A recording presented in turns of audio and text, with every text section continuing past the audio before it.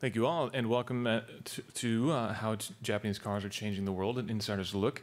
Uh, again, I'm Tim Stevens. I'm editor in chief of Roadshow, uh, CNET's new automotive property. And our speaker tonight is Peter Lyon, a Tokyo based motor journalist and also the host of Samurai Wheels, which we were just getting a bit of a sneak peek at. Uh, Mr. Lyon got his BA in politics and Japanese studies from the University of Western Australia and went on to study advanced Japanese language at Japan's prestigious Keio University. He currently writes for six publications around the world, two in Japanese. He's chairman of the World Car Awards, juror for Japan's Car of the Year, and a judge for Toyota's Dream Car Art Contest, uh, which is a long list, which is why I have to read it off of paper here. Uh, we're very pleased that he is here to speak with us tonight. Now, um, Mr. Lyon has a presentation he's going to be going through. But after that, we will have a Q&A session, which we would definitely invite your questions. So uh, if you have any questions, please start to think of those. Uh, and after the presentation, we'll be happy to take those. Um, but now, without further ado, please welcome to the stage Mr. Peter Lyon.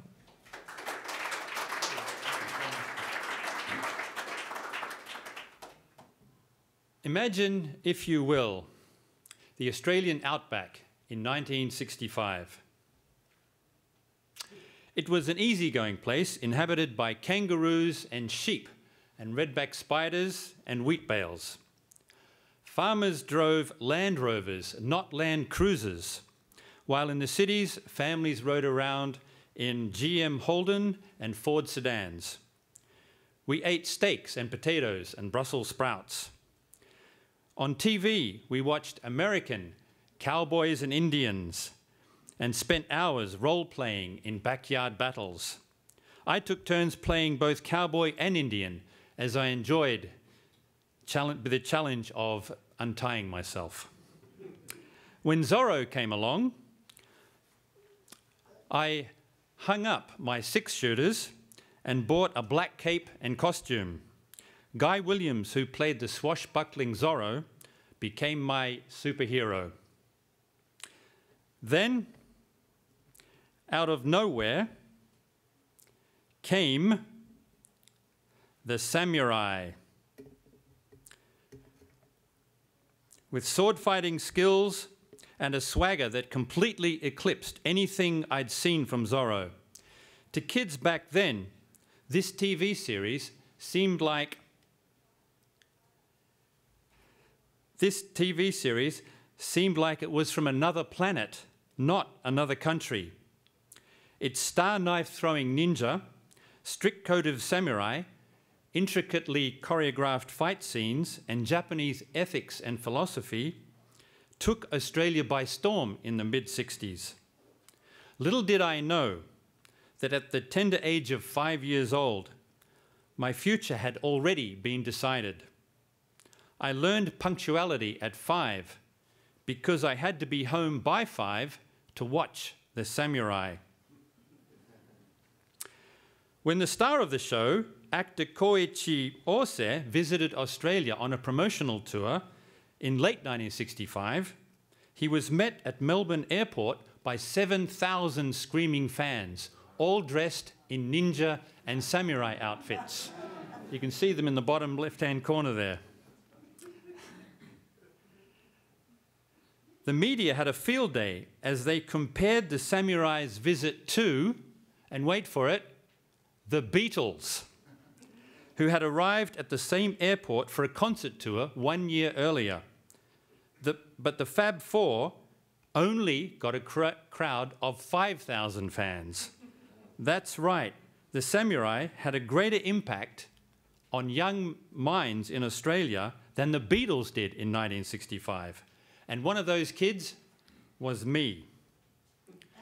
I did not realize until much later in life but that show is what influenced me. That is how I entered this world, the world of learning to speak Japanese and test driving and reporting about cars for living from Japan. Hello and welcome to my talk on how Japanese cars change the world. Today I'm going to tell you some stories of my 28 years of working in Japan as a motor journalist, author, racing driver, chairman of the World Car Awards, and one of only two foreign-born Japan Car of the Year jurors. And as you saw in the opening, I'm also the co-host of Japan's first ever international car show, Samurai Wheels on the national broadcaster NHK, a show I co host with ex Formula One driver Ukyo Katayama. And I'm thrilled to be here with you today. Thank you for having me. I suppose the best place to start is right at the beginning, or at least at the beginning for me. That was in 1988. Let me paint a picture for you. It's the 1980s, and Ronald Reagan is pressuring Japan to open its markets. Hollywood loves a good conflict, so it jumped on this opportunity to make some movies. In the 1986 flick Gung Ho, Michael Keaton plays a shady auto worker trying to pressure lazy Americans to work harder for less money after a Japanese company takes over an American car plant. In 1988, Bruce Willis plays John McClane, a New York cop who saves a Japanese company from a German terrorist group in the original Die Hard movie. In 1989, Michael Douglas seeks help from a Japanese cop in tracking down a rogue Yakuza in Black Rain. In reality, of course, these battles were not taking place on the 40th floor of the Nakatomi Plaza, but in the showrooms and design studios of global car makers. So I arrived in Japan in 1988 to start reporting on cars. Now that I look back, I arrived right at the start of Japan's golden era, a time that saw the launch of cars that would rock the automotive world to its very core, cars that are still having influence today. Just imagine, in a two year period from 1989 to 1990, we saw the launch of the Honda NSX, the Nissan Skyline GTR, the Mazda MX5 Miata, the Subaru Legacy, the launch of Lexus and Infiniti in the same year in the US, and of course the game-changing Lexus LS400. I'm not, I haven't finished yet. The Toyota MR2, the Nissan 300ZX, and the Honda Accord and Honda Integra. All those cars were launched within a 24-month period. I thought, okay, if Japan can do this every year, then I have definitely come to the right country. But unfortunately, Japan could not maintain such an intense pace, although it did manage to keep the success stories coming in the form of hybrids, driving games, fuel cell cars, and world beating four wheel drive turbocharged sports cars. I will never forget one of the first interviews I had with a chief engineer. My no holds barred Australian publication had commissioned me to ask the chief engineer of the Lexus LS400 why his car resembled a certain German brand. After just a few months in Japan, I soon learnt that such straightforward confrontations are not the done thing here. Circumlocution is a virtue in Japan. So a couple of concerned Japanese colleagues gave me a crash course in local manners, trying to tame the wild young Australian. So when I arrived at the Toyota office in Tokyo to conduct a telephone conference with Mr. Ichiro Suzuki, not of the baseball fame, the LS's chief engineer, Ichiro Suzuki, I was ready to find a back door to the question that had to be asked. I first congratulated him on a masterpiece of engineering. The LS's quality, reliability, refinement, quietness, and cost performance were already sending shockwaves through the hallowed halls of Mercedes and BMW. The Germans could not ignore this wake up call. I remember writing at the time, it's so quiet you can't even tell the engine's on. It's faster than a BMW, more luxurious than a Mercedes, and cheaper than both.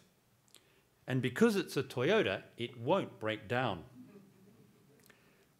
But whichever angle you looked at it, you could not help but see design cues that resembled a certain German automaker. So I said to him, Your design is very crisp and clean.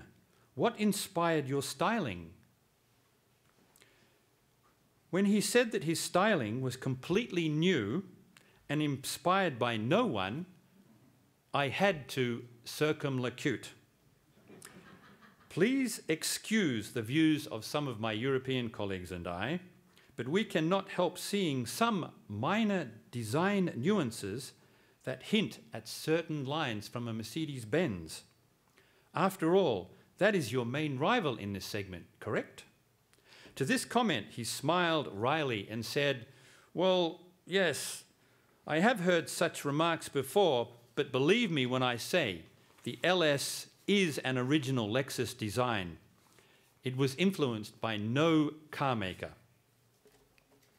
And that, of course, is the story that I had to write, although I could see some design influences from Germany. But it seemed like I'd crossed the line because Mr. Suzuki never spoke to me again. That's when I learned an important lesson. Even, in the, even if the world thought your car might have borrowed a few minor details from another automaker, the corporate line in this country was to dismiss such remarks and push originality.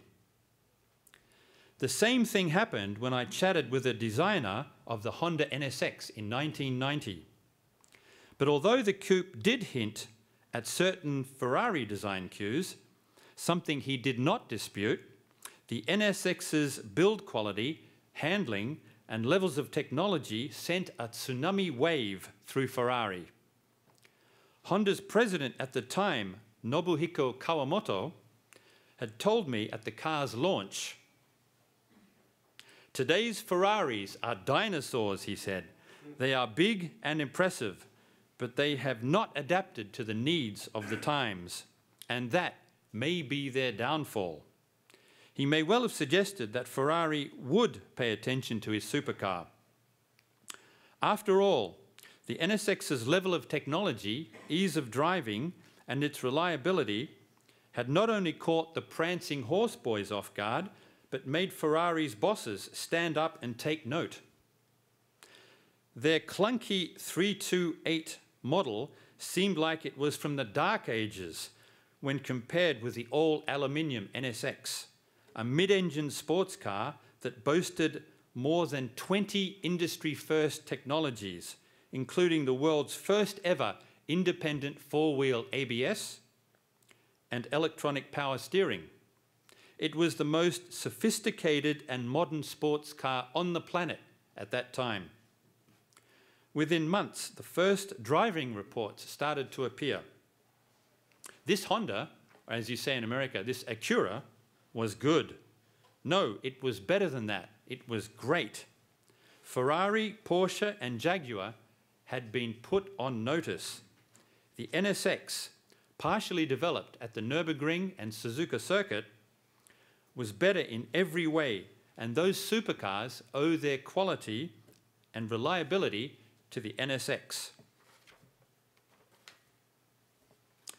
When the Mazda MX5 burst onto the world stage in 1989, the fact that it took inspiration from the Lotus Elan was quickly lost in the car's superb handling, great build quality, class leading cost performance, and wind in the hair thrill factor. It soon went on to win numerous awards, including Autocar's Best Drivers Car Trophy, and sparked a boom in roadsters globally, giving birth to such cars as the Porsche Boxster, the BMW Z3, the Mercedes SLK, and the Audi TT. When the second generation MX5 was launched in 1998, I went down to Hiroshima to interview the chief engineers of the first and second generation cars, Toshihiko Hirai and Takao Kijima. Given that this car had become such a huge success story, the brand's iconic car listed in the Guinness Book of Records with over 950,000 sales, I expected to hear stories of triumph. But the truth was far from that, as the two engineers told me how the hardships and struggles they had to get this car out of the design room and onto the road. He and Kijima had worked on the project from the beginning. Firmly, they firmly believed that for this car to be a success, it had to have rear wheel drive and a 50 50 front rear weight distribution. But the Mazda marketing boys, who only crunched numbers, drove Hirai to threats of resignation at their insistence that the car should be front wheel drive to save money. If we did a front wheel drive car, he said, we'd just end up making a marginal success, not a big hit. Anyone who enjoys cars and sports driving knows the difference between a front wheel drive car and a rear wheel drive car. In the project's early days, Mazda bosses gave these two engineers a hard time too, making it difficult for them to source talented engineers and designers. Kijima told me that his wife wondered what was happening. Was my husband seeing another woman? Because for a month, every night, he would be late getting home because he was working on a secret project that he could not talk about. Until the project was fully sanctioned by Mazda management, Hirai's team had to finish their work on other projects during the day and then meet for a couple of hours after work each night to plan the MX5. After a special plea from Hirai, bosses finally came to their senses, gave the go sign, and allocated a good group of engineers and designers. Now, when you think of it, it's hard to believe that a coupe, which has become the number one brand image for Mazda, nearly did not happen because of some screwed up marketing strategy.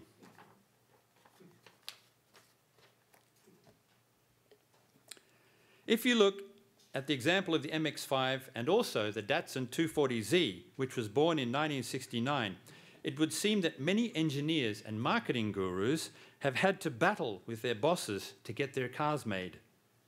As we have just seen, Hirai had to fight hard to get his MX5 off the ground.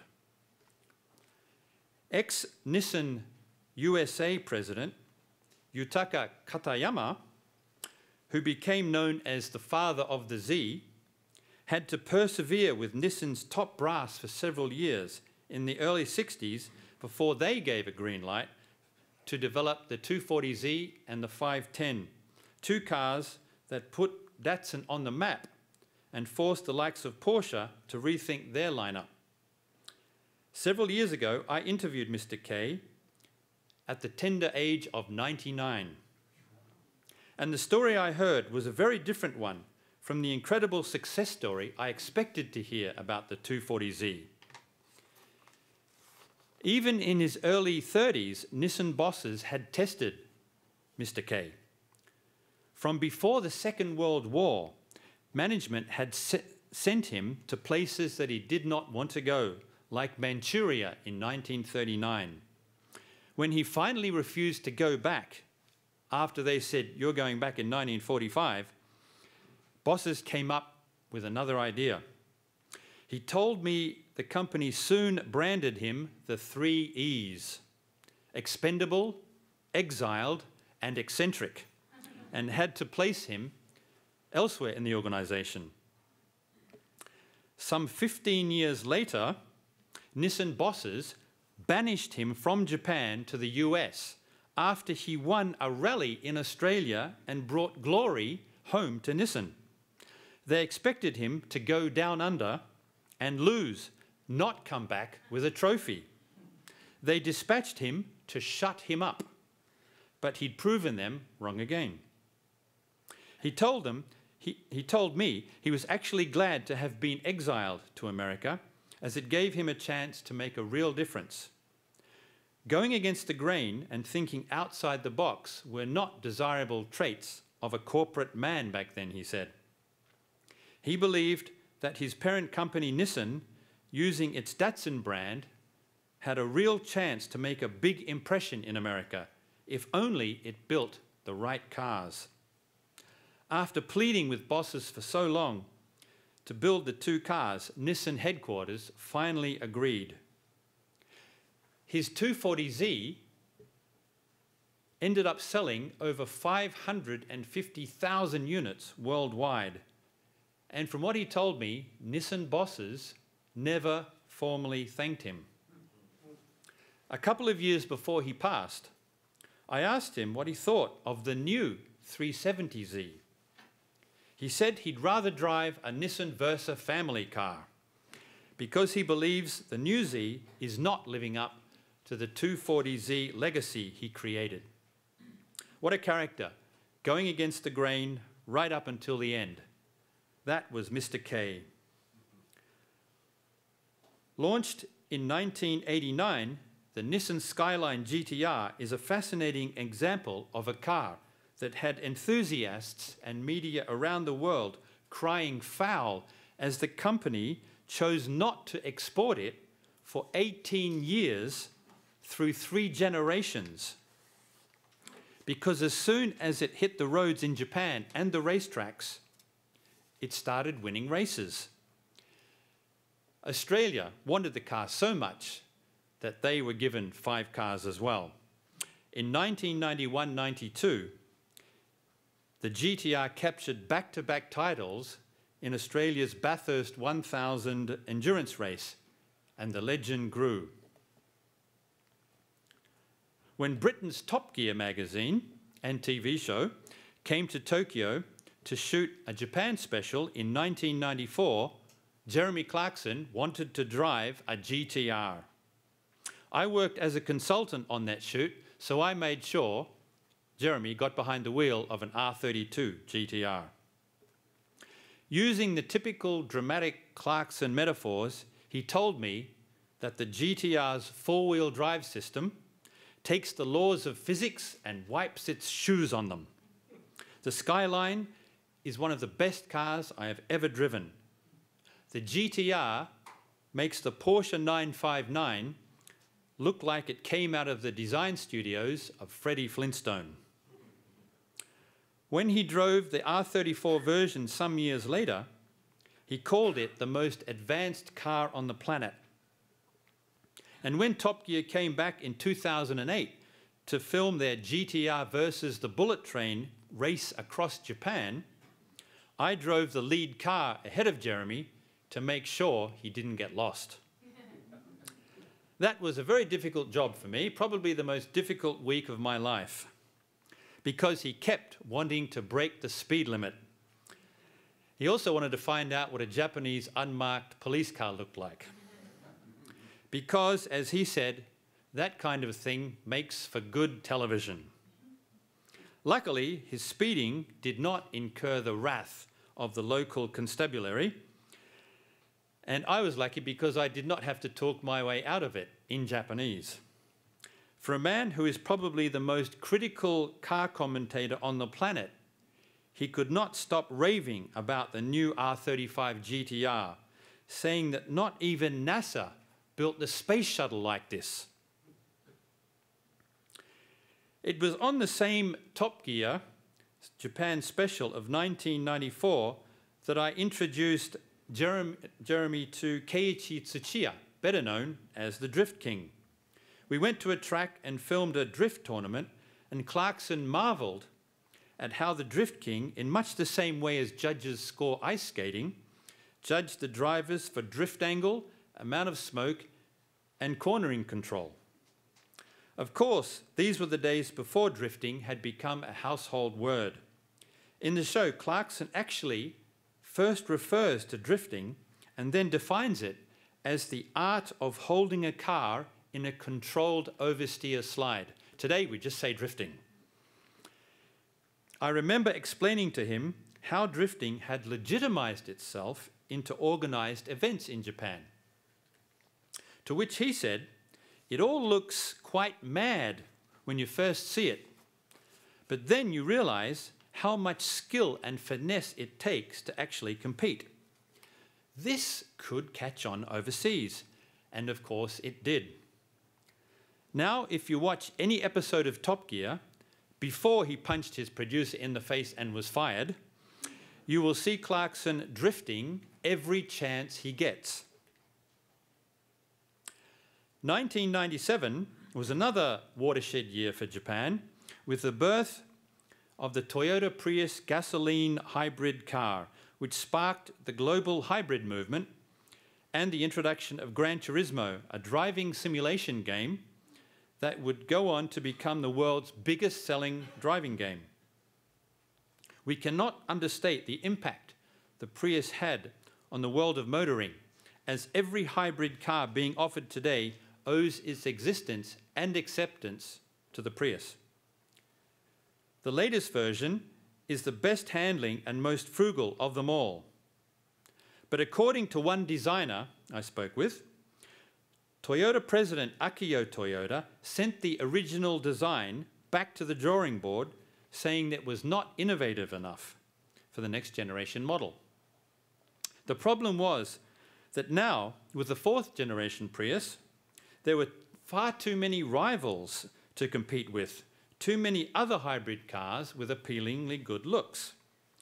Toyota wanted to stress to his design team that a totally new interpretation of the now famous Prius design was what was needed from the design team.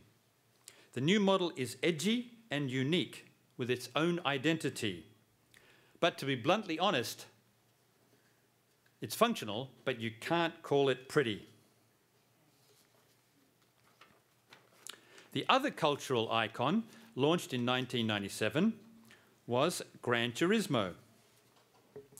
I met the game's creator, Kazunori Yamauchi, in early 1998, and we soon became gaming buddies. In 2009, I put a team together called the World Car Awards Race Team to compete in the 2010 Nürburgring 24 hour race, which is said to be the world's longest and most grueling endurance race. After securing ex IndyCar pilot Hideshi Matsuda, I invited Yamauchi to join the team. I'd raced with him at Tsukuba Circuit in Japan, so I knew he was good. In our first one hour endurance race together, we'd missed out on a podium by one tenth of a second. But I didn't know just how good he was in more powerful cars on longer racetracks. I soon found out just how good he was. To prove beyond a doubt that his game was not only lifelike, but is an incredibly good driver training tool, he did a hot lap in our Lexus ISF race car in the Gran Turismo simulator above the pit lane and clocked a time of 9 minutes 48 seconds. That's in the virtual world. Then, in the real race the following day, he posted a time of, you guessed it, exactly 9 minutes 48 seconds, proving that the game is as close to the real thing as possible. I can't think of any better way of certifying your brand than to blur the lines between virtual and real world. The whole crew was blown away, and several mecha mechanics said, This guy is a cyborg.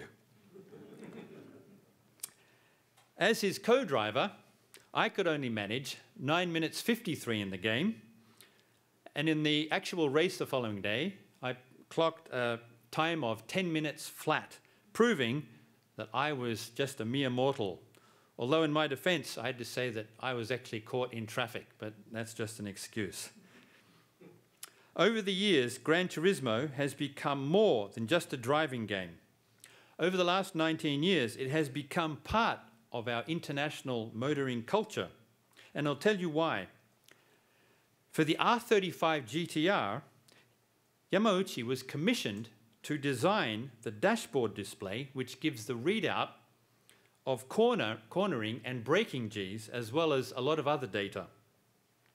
Then, eight years ago, Yamauchi started the Gran Turismo Academy to make real world races out of Gran Turismo champion gamers. And in the following year that he started this, his champion driver was standing on the podium of Le Mans in the real world. He also created the SEMA Gran Turismo Award, and, and he presents a trophy every year in Las Vegas. He's also a judge at the Pebble Beach Concours d'Elegance. And he's also created two virtual race cars with Red Bull Racing's Adrian Newey, who is arguably the best aerodynamicist on the planet. He also came up with the Vision Gran Turismo project, which pushes car manufacturers to think outside the box and create inspired styling to stimulate the world of car design. Yamauchi has also just collaborated with the FIA to create Gran Turismo Sport, two FIA online championships that allow participants to either play in the game or spectate. And best of all, the winner of each championship will be awarded in the same way as the real race winner at a prize giving ceremony held by the FIA. This will mark an historic moment in video gaming as Gran Turismo will officially be recognized as a motorsport. It's not only Japanese cars, technology, and games that are changing the world. One traffic crossing in Tokyo that has gained fame around the world for its innovation and futuristic design is the Shibuya Crossing in Tokyo. It not only inspired the dark set creation for Harrison Ford's 19, 1982 Blade Runner movie, but also featured strongly in the recent Fast and Furious Tokyo Drift movie. In a fascinating development several years ago, this iconic traffic crossing in central Tokyo became the blueprint for one of London's most famous landmarks. Taking inspiration from Shibuya District Crossing, London's Oxford Crossing Circus will stop traffic in all directions and allow pedestrians to cross diagonally as well as straight ahead, just like in Tokyo. I spoke with cultural trends guru Morinosuke Kawaguchi about the project, and his comments highlighted the influence that Japanese design has around the world. The fact that London planners employed the Shibuya Street crossing as a blueprint for the famous landmark is only natural, he says. Shibuya just happens to be the global center for future fashion and pop culture trends. Energized by a youthful population of hair tinted, mobile phone slinging, fashion adventure seekers, Shibuya is a fertile breeding ground for trendsetters in fashion, J pop, music, cartoons, anime, design, and even automotive styling. Kawaguchi tells me that fashion and automotive trendsetters from around the world visit Shibuya every year. Japan is also right up there with the West when it comes to autonomous driving. Toyota and Nissan will be promoting autonomous driving for the 2020 Olympics in Tokyo. These manufacturers want to offer some of the most advanced driverless opportunities for athletes and visitors during the 2020 Games. I have tried some of these technologies from Nissan, Toyota, and Tesla. And while I found these technologies quite impressive, I've noticed that they can only work on restricted road conditions, like on highways with few obstacles. When I spoke to a Toyota executive recently, he said that while autonomous driving has a long way to go, there were just too many variables to make it not viable at the moment. You never know when a kid or a dog or a bicycle is going to dart out in front of you. And if you hit something while in autonomous mode, who takes responsibility? You or the car maker? To solve that question, my Toyota executive said would probably take another five to 10 years. In conclusion, I believe that a new golden era for Japan has just begun. Just look at what's happening now. We have the new Prius, which is the best handling, most radical looking, most fuel efficient Prius ever. We have the new Mazda MX5. Then we have the Toyota Mirai, which is the world's first fuel cell car. We have the new Honda NSX, which is just coming onto the market. You have the Honda Clarity fuel cell car, a vehicle that offers one more seat and a longer range than the Toyota Mirai. Then, of course, you have the Mazda RX Vision rotary concept that will see a reborn rotary sports car by 2020. And from what I'm hearing, Nissan is rethinking its halo car, the GTR, to be born again as a hybrid with more power and better mileage. I'm also hearing that Subaru are working on a mid engine sports car with electric motors driving the front wheels. And who can ignore the Toyota Supra successor currently being developed by Toyota and BMW? And of course, a new compact Toyota SFR that I'm hearing will be built by Daihatsu, who, of course, were just bought by Toyota. And by the time that and by the time Nissan planned to, to deliver the, their most advanced autonomous driving network, we will see that in 2020. For my part, I look forward to seeing what Nissan does with its next generation GTR. And I also can't wait to see how Mazda tones down its rotary powered RX Vision concept. Actually, I tell a lie. I don't want them to tone it down at all. But what I'd really like to see is Clarkson and his gang come back to Japan. I wonder what they'd do.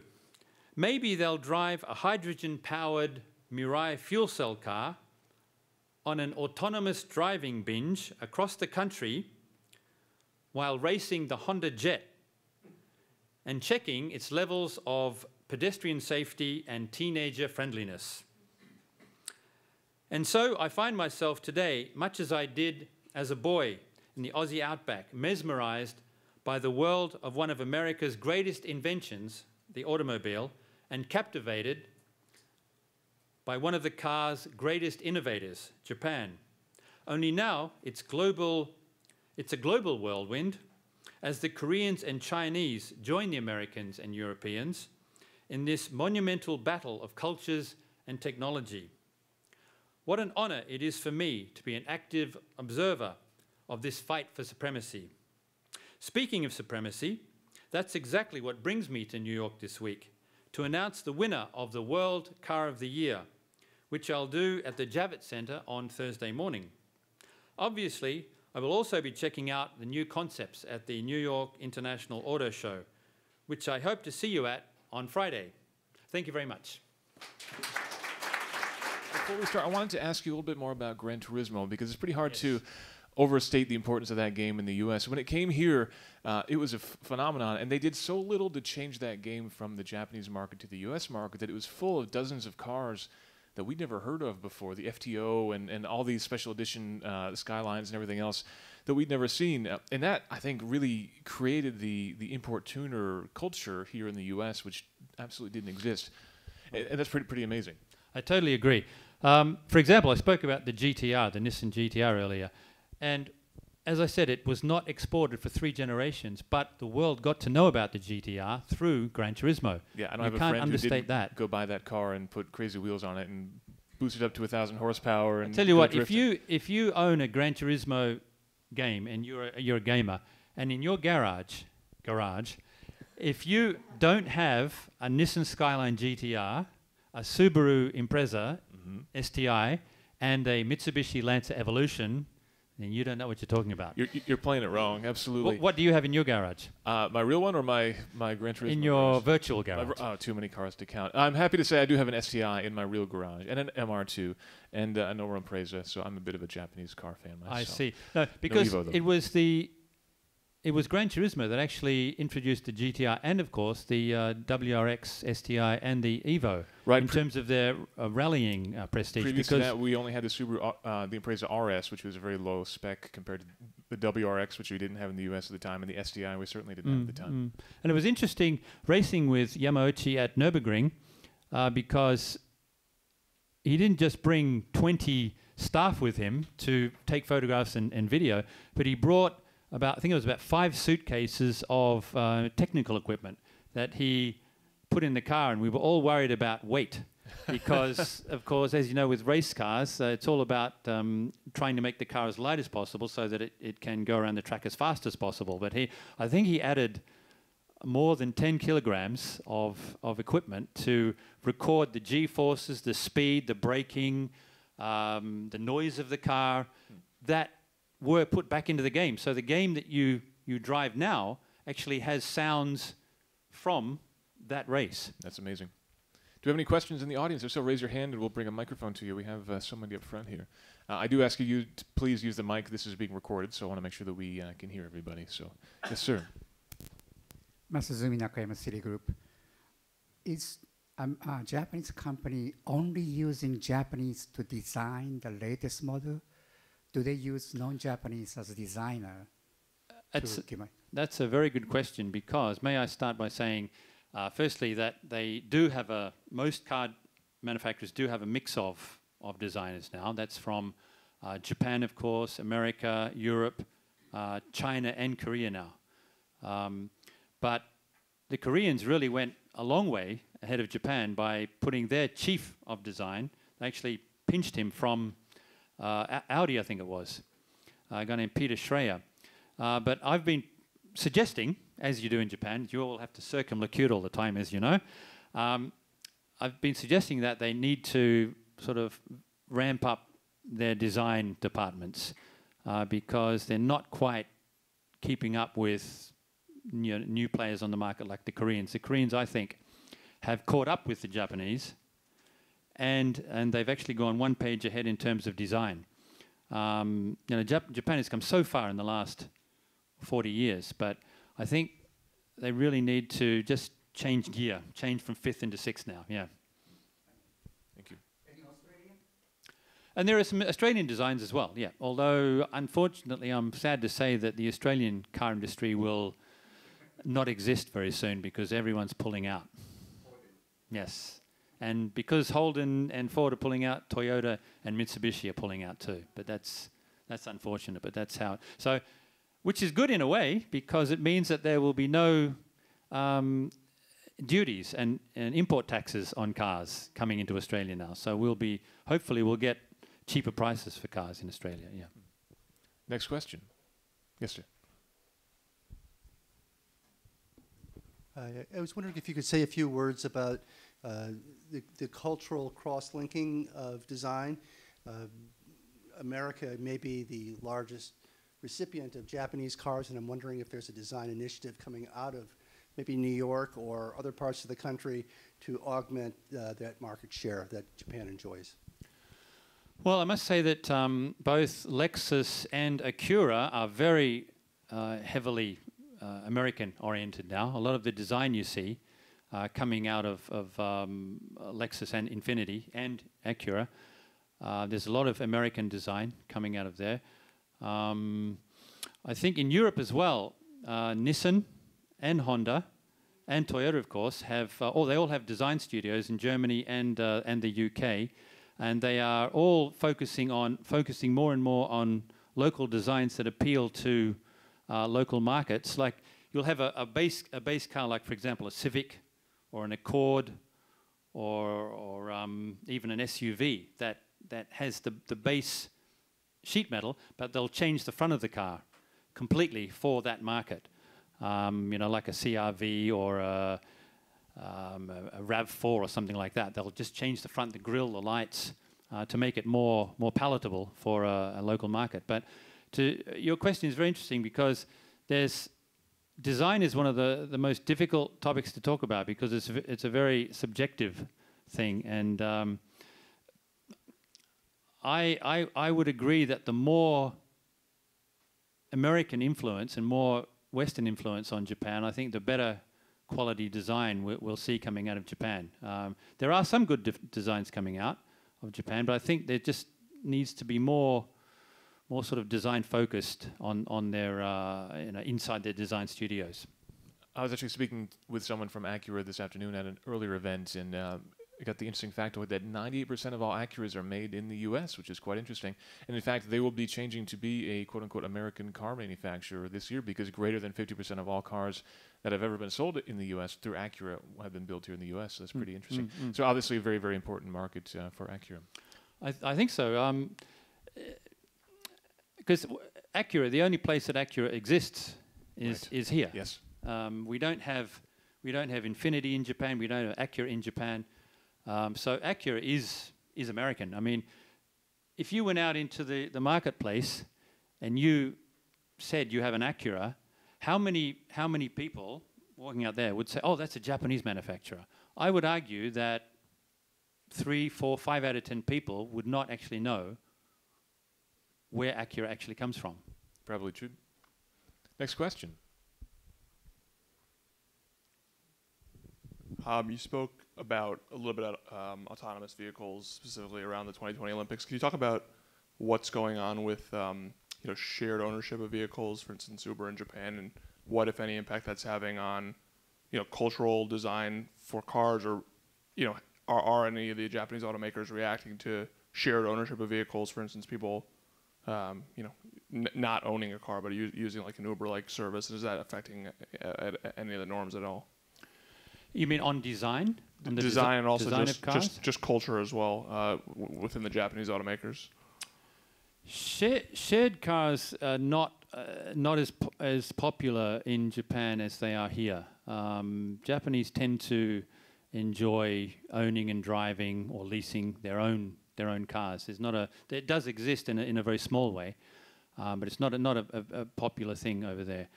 Um, I think that Toyota, Nissan, and Honda are all joining forces to coordinate the the technology that needs to be employed to make this autonomous driving event happen in Japan. Um, and it's being ramped up very quickly in the next uh, couple of years to, to, you know, to be in time for the 2020 Olympics because, as I don't know what you've been hearing over here, but the Abe administration, the, the, the government, is really putting a lot of pressure on, on Japanese companies to really you know, show off what, what the country can do. Um, it's not just changing the constitution. Uh, we, we won't go into that, but um, it's it's changing uh, the mentality towards cars, and it's trying to see how far uh, these major three manufacturers, the big three in, in Japan, can can take uh, car uh, autonomous driving in the near future. Uh, as I said, a Toyota executive um, did actually say to me that he believes. I believe you have some interesting things to say about autonomous driving too, but um, he he believes that while we will see autonomous driving cars on the road actually doing what they're meant to do, it will only happen in restricted areas. You won't see them on local local roads. Um, and because, of course, you know, you have the, the liability issue, uh, you have um, the acceptance issue as well. People, you, the government has to make people aware of this and accept it at the same time. I was just speaking with uh, John Krafcik, who's the CEO of Google's uh, self-driving program uh, this afternoon, and interestingly, he sees us as actually using our cars a lot more once we do move to an autonomous state because of car sharing. A lot of people think that once we have autonomous cars, we can have services like Uber that'll be much more efficient because the cars can drive themselves. If you're at work, your car can be out picking up passengers and maybe earning you a bit of money. And because of that, he sees that cars are going to be used a lot more frequently than now. You your average car does about 12,000 miles a year here in the U.S. He thinks it'll be 150,000 miles per year in the U.S. just because your car will never be sitting idle, which is a pretty interesting idea. You know, there's a lot of fear that dealerships are going to go away, that car manufacturers are going to go away because you'll need fewer cars. But if you're putting 150,000 miles on your car every year, you might need a new car uh, every Mm, every other mm, year, mm. which could actually result in, in more sales. Yeah, I think your your comment about the sharing will actually, to think it will change uh, the way that, that cars are used in Japan, um, because if if we are being forced or suggested to use to share cars, then I think the the population will. Uh, understand that, and uh, you know, if you, we're being offered autonomous driving cars, then I think more and more people will come around to it. It's just the, the government has to you know, make people understand and accept it. Do you feel like there's more pressure in Japan to develop uh, autonomous driving? I know from covering the consumer technology side of things in Japan, there's a strong interest in elder care because of the aging population in Japan.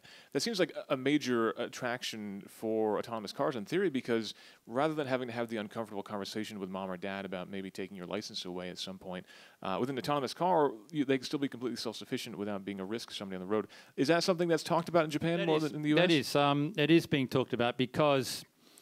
Uh, the Japanese car industry actually has, I, I would argue, the most advanced form of, of um, technology for, for the handicapped. Um, they, have, they have seats that come out of cars. They have uh, wheelchair ramps that just fold out of cars. They have special doors that open to allow easy access. Uh, they have special uh, driving facilities for people that um, do not have all of their appendages. Um, so I, I can see that people will be offered those sort of cars uh, in the near future. Next question. Yes, sir. In the context of the autonomous car, that's going to require some trust.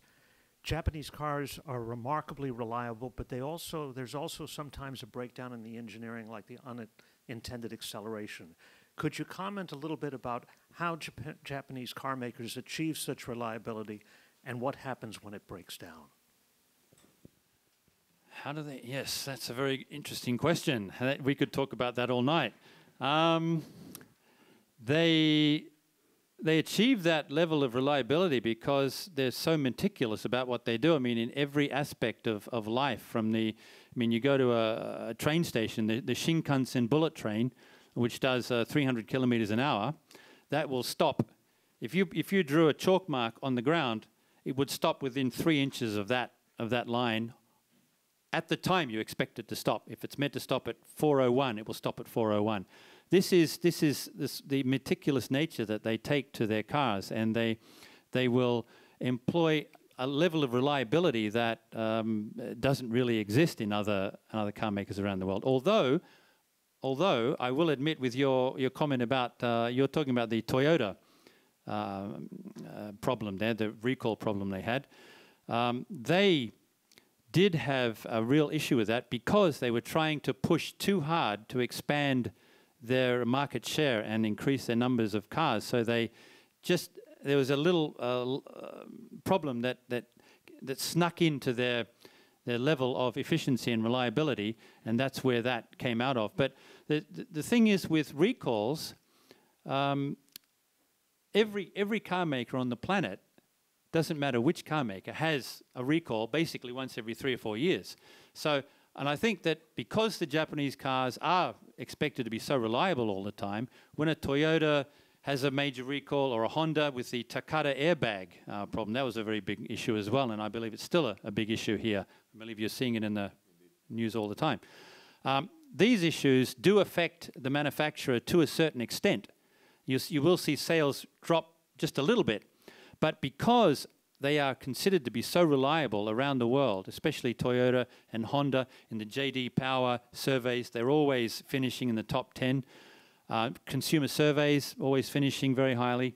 Um, they do always bounce back. I mean, Toyota had one of the biggest recalls in history, and it still bounced back to be the world's biggest car maker, the, the biggest producer of cars. So um, you know, we, the level of reliability will always be very high with Japanese cars, and you can expect your car to start every morning uh, when you go out, you know, on a cold morning.